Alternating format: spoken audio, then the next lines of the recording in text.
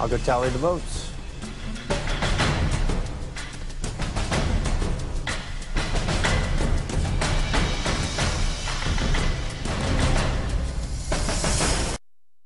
Once the votes are read, the decision is final. Person voted out will be asked to leave the tribal council area immediately. I'll read the votes.